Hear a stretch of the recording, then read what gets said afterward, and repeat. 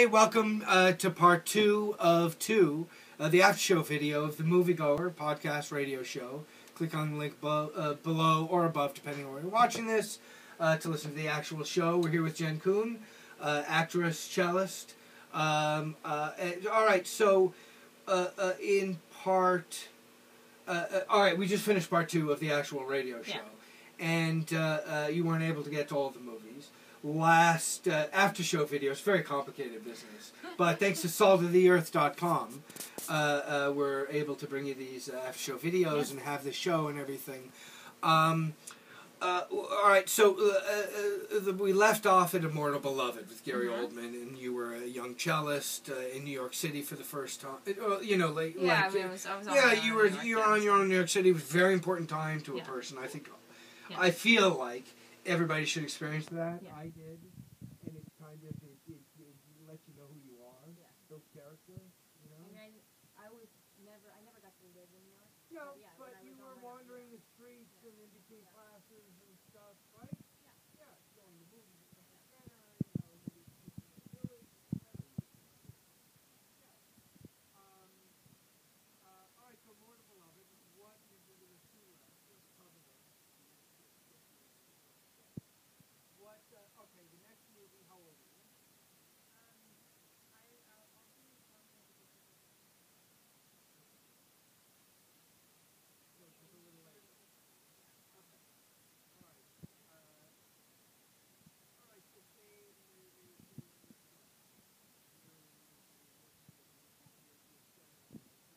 You still have your eye on those.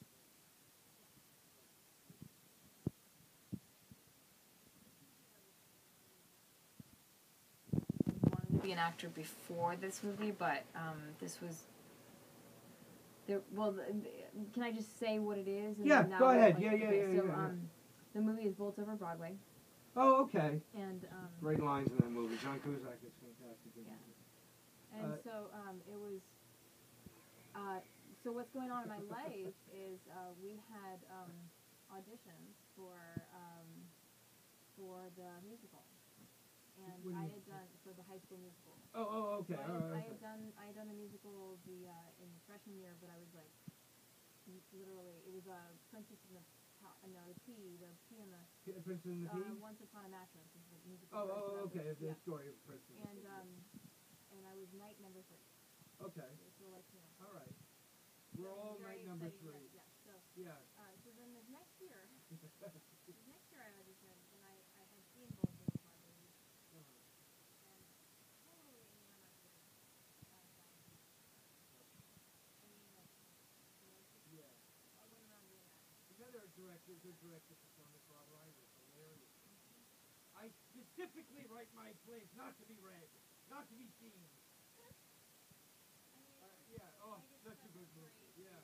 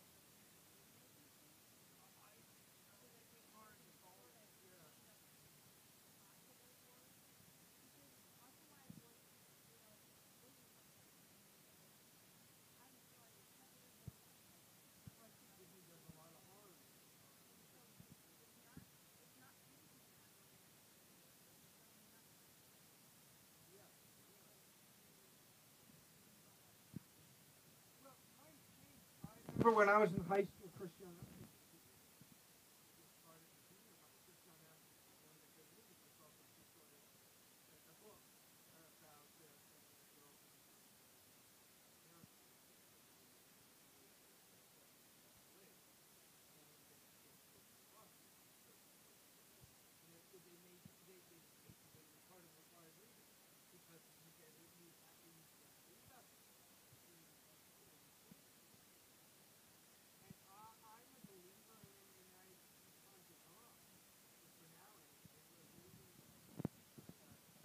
Uh, uh, what's the Darren Aronofsky movie? Uh, uh, that the heroin and Jared Leto, one of my Oh, favorite movies. Uh, Requiem Requiem for a Dream. is awesome. Uh, I that's like a PSA. I think that should be Mhm. required viewing Yeah. for a certain age. yeah. I think kids should be. Mhm. Uh, there's this, uh, I think Christian F. Uh, the, the book at least. Mhm. I think there's a value in that that's Yeah. being lost. Because you can't, you know, your parents can't talk to you about it.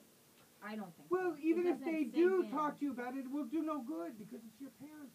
But to have